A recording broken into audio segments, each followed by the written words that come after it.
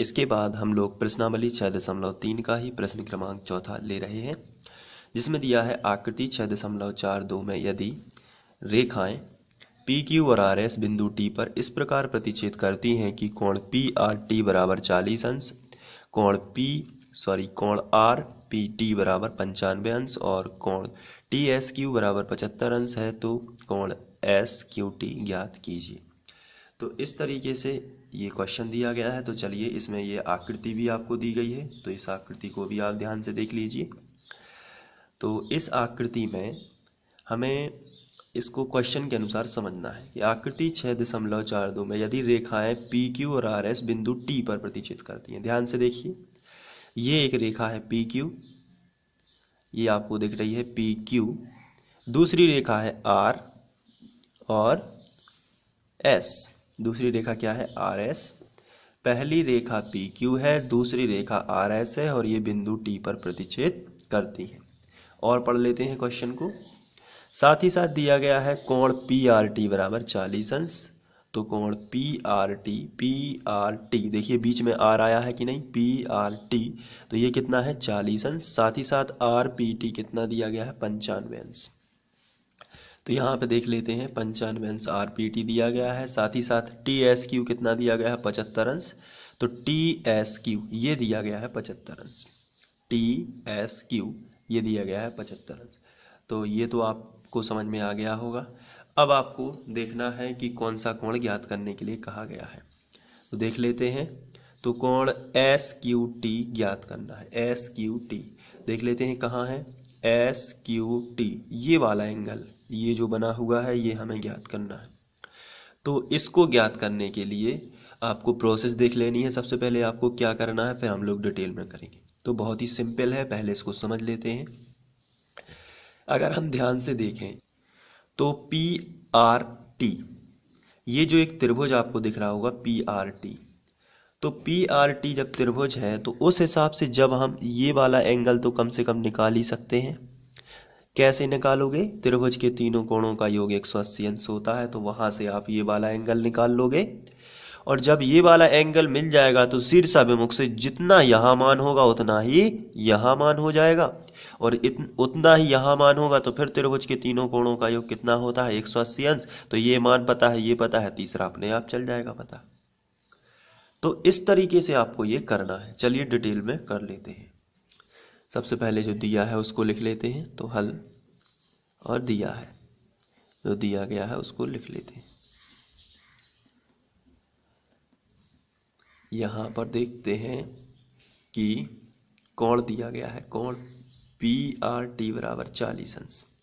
कोण P R T बराबर दिया गया है चालीस अंश। और कोण आर पी टी बराबर दिया गया है पंचानवे अंश। और इसके साथ एक कोण और दिया गया है, कोण टी एस क्यू बराबर सेवेंटी फाइव डिग्री। चलिए, अब ज्ञात करना है ये वाला तो आपको हेडिंग डाल देनी है, ज्ञात करना है।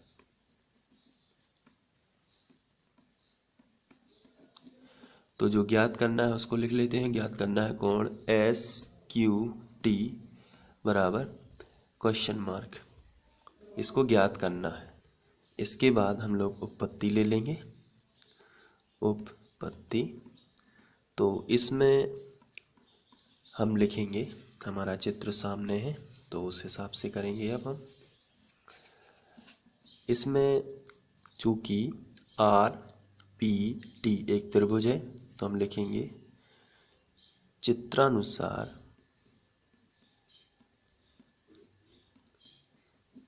चित्रानुसार के बाद लिखना है चूँकि, आर पी आर टी एक त्रिभुज है पी आर टी एक त्रिभुज है जब पी आर टी एक त्रिभुज है तो फिर क्या होगा? तो इसलिए कोण P प्लस कोण R प्लस कोण T, ये क्या हो जाएगा दोनों? एक सौ अस्सी तीनों के तीनों। तो हम इनको फुल फॉर्म में लिखेंगे। सबसे पहले P को लिखना है तो कैसे लिखेंगे? आर पी टी तो कोण आर पी टी प्लस अब हमें इसको लिखना है आर को तो कैसे लिखेंगे? पी आर टी जिस भी कोण को बताना है उसको बीच में लिखना है। तो कोण पी आर टी आ गया आर बीच में। तो कोण पी आर टी प्लस अब इसको लिखना है टी को तो कैसे लिखेंगे? आर टी पी कोण आर टी पी बराबर कितना होगा? 180 अंश। अब आपको ध्यान से देखते जाना है। R P T R P T R P T कितना है? पंचानवे अंश। तो यहाँ कितना लिखोगे आप? पंचानवे अंश प्लस कोण? P R T P R T कितना है? चालीस अंश. पी आर टी कितना है? चालीस. तो यहाँ कितना लिख दोगे? चालीस अंश प्लस कोण? R T P R T P ये तो हमें ज्ञात करना है तो इसको ज्यों कहते हो? कोण? आर टी पी बराबर एक सौ अस्सी अंश. चलिए इसको सॉल्व कर लेते हैं. तो यहाँ पे यदि हम देखें पंचानवे और चालीस जोड़ लेते हैं तो यहाँ पे पाँच और एक सौ पैंतीस। टोटल प्लस कोण आर टी पी बराबर आ जाएगा एक सौ अस्सी अंश। 135 का इस तरफ़ पक्षांतर कर देंगे तो यहाँ बचेगा केवल कोण आर टी पी, कोण आर टी पी बराबर 180 अंश माइनस 135 अंश। तो कोण आर टी पी बराबर 180 में से 135 चले जाएँगे तो 45 अंश आ जाएगा। तो ये आर टी पी अब हम चित्र में देख लेते हैं, हमारा जो है ये 45 अंश आ चुका है। ये पैंतालीस है तो शीर्षाभिमुख से ये भी कितना होना चाहिए? पैंतालीस, क्योंकि जब दो प्रति दो रेखाएँ आपस में प्रतिच्छेद करती हैं तो उनके आमने सामने के कोण बराबर होते हैं, जिन्हें शीर्षाभिमुख कोण कहते हैं। तो पैंतालीस अंश तो आपको लिखना है, चूँकि, फिर से एक बार, चूँकि चूँकि पी क्यू और आर टी जो है सॉरी पी क्यू और आर एस वो टी पर प्रतिच्छेद करती हैं तो आपको लिखना है, चूँकि पी क्यू और आर एस टी पर प्रतिच्छेद करती हैं।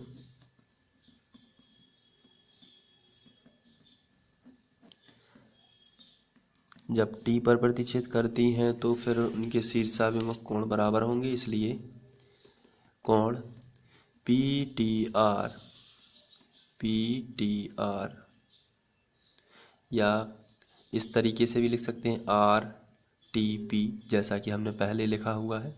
तो आर टी पी ही लिख देते हैं। आर टी पी बराबर होगा। आर टी पी जो पैंतालीस है ये किसके बराबर होगा? क्यू टी एस चलिए लिख लेते हैं। कोण क्यू टी एस बराबर कितना हो, हो, होगा ये? पैंतालीस। कोष्टक में आपको लिख देना है चूँकि शीर्षाभिमुख कोण है। शीर्षाभिमुख कोण है। तो यहाँ पे आपको यही लिख देना है। अब जब ये पैंतालीस अंश है तो आप यहाँ देख सकते हैं कि अब शीर्षाभिमुख से ये भी पैंतालीस हो गया, ये पचहत्तर है तो ये अपने आप मिल जाएगा। तो फिर लिखना है चित्र से टी क्यू आर एक त्रिभुज है। देख सकते हैं आप T Q S T Q S एक क्या है? त्रिभुज है। तो चलिए लिख लेते हैं। चित्र से टी क्यू आर एक त्रिभुज है।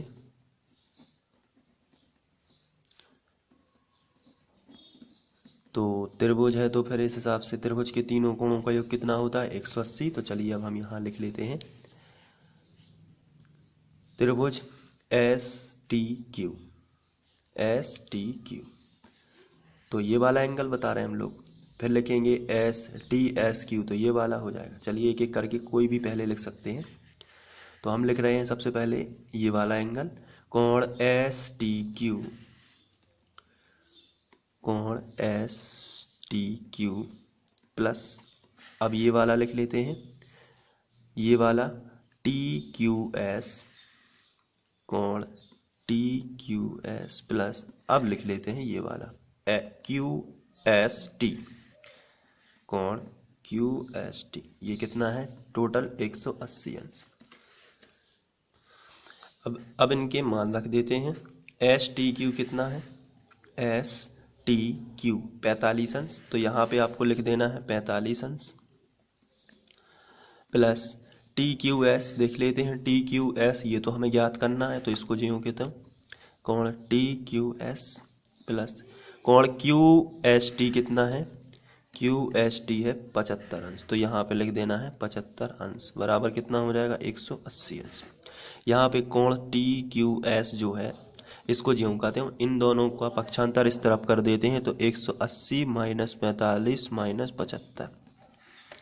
तो कोण टी क्यू एस जो है, इन दोनों का पहले ये माइनस माइनस के जोड़ लेते हैं तो पाँच और पाँच दस का शून्य हासिल आई एक, चार, सात, चार, ग्यारह और एक बारह। एक सौ बीस अंश।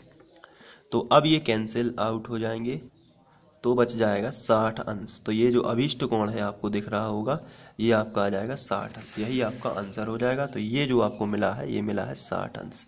तो इस तरीके से आपको सॉल्व कर लेना है। बहुत ही सिंपल क्वेश्चन है और आप इस तरीके से करते चलिए। जिन बच्चों ने पूरे वीडियो नहीं देखे हैं, वो चैनल की प्लेलिस्ट में जा सकते हैं। हमारे चैनल का नाम फ्री ऑनलाइन कोचिंग है तो वहाँ से जाके आप देख सकते हैं और अपने समय को भी बचा सकते हैं। कोचिंग जाने का जो समय है, वो भी बच सकता है आपका और आप अपनी मेहनत अच्छे से करते रहिए। Thank you.